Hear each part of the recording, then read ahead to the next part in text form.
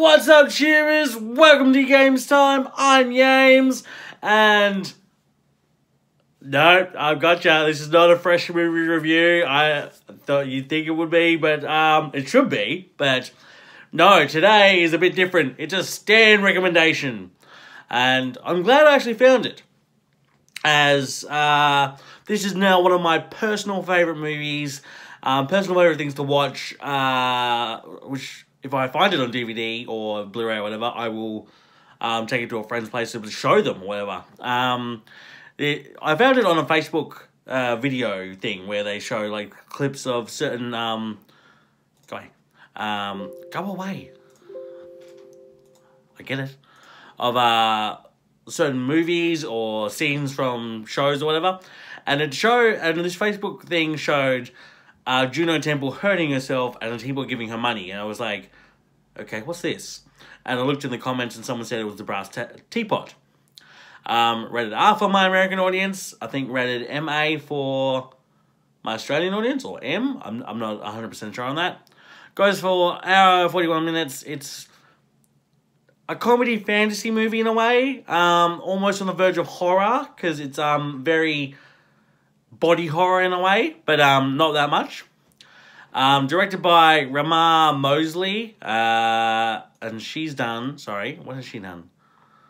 She has done, um, she's mostly done video shorts, like uh, Creed, Higher, Tonic, if you could only see, In Dreams I Run Wild, Lost Child, and a TV episode of Blindspot. So it's more, it's a newish director in a way. Um, written by Tim Macy. Um, what's he done? And he's roughly a new director, to, new writer. Done the short of The Dying Western, The Brass Teapot, Lost Child, Nielsen. Okay, cool. Um, starring Juno Temple, Michael and uh, Ang Arano, Alexis Bledel, uh, Bobby Moynihan, Steve Park, Ben Rappaport, uh, and Lucy Walters and Jack McBrayer. the concept of this movie, when a couple discovers that a brass teapot makes the money whenever they hurt themselves, they must come to terms how far they are willing to go.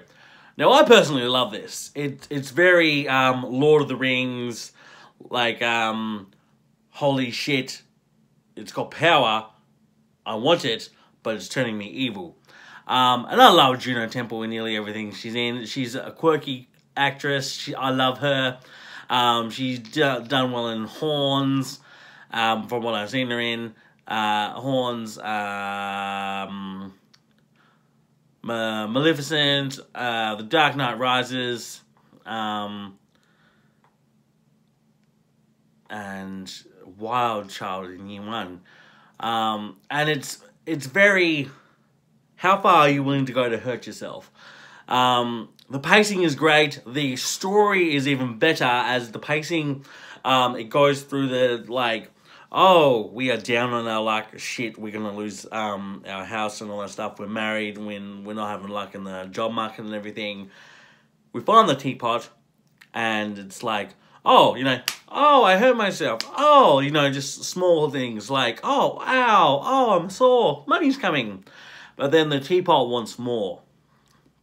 It's like, it's not just taking, you know, slaps and all that stuff. It's taking, okay, how far are you willing to go to hurt yourself or your partner? Like, oh, they go to the points of telling truths to the point of like, oh, I slept with the landlord. Oh, you know, you have a small dick. And it's just like, wow. It's just like, and the teapot's like, oh, like giving them tons of cash. And just seeing them go from innocent, quirky guys uh, to wanting to actually be thirsty for money, have the money and everything. It's just like, oh, you were going down a dark path you cannot come back from. Um, it, I love this. Like I said, I love this movie. The like, it's got backstory. It's got um, a pot potential to have um, more.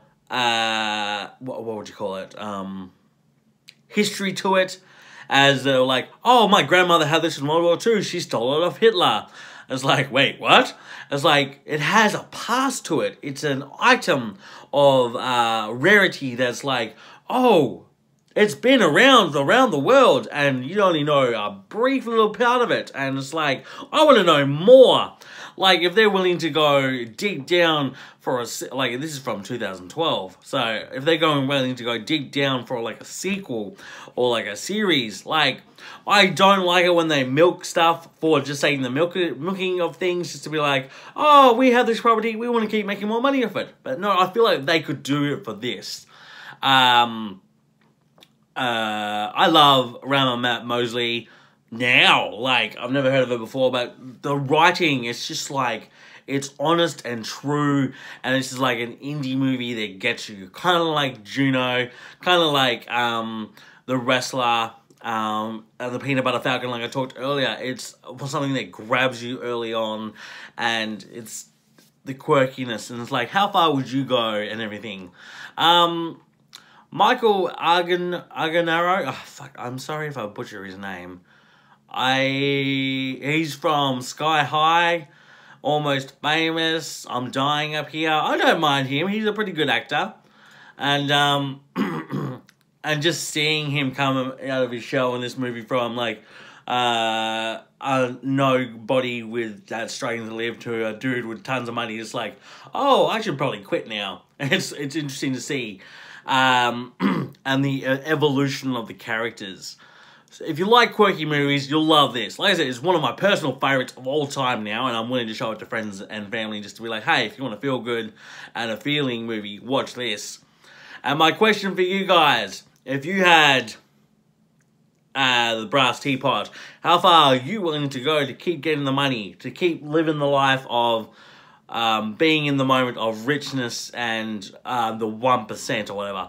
Because there are rich people out there who are fucking dicks, who don't deserve the money, who have squandered all that they have. But how far would you go to keep gaining the money to be whatever? And would you keep on going till you are rich, or would you help others as well?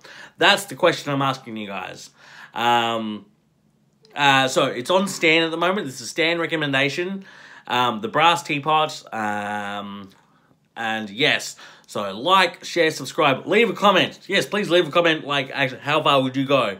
Would you keep going to the point you have billions of, of dollars, but also help out those in need, or would you be greedy? Be honest. I know you want to be honest, and I, I, I, will honest too. I would keep going. I would kill the pedophiles, but I would also also um, give to the homeless as well and everything. But, uh, but I'm a greedy motherfucker when it comes to money myself. But, as I said, and Juno Temple, I love her. Oh.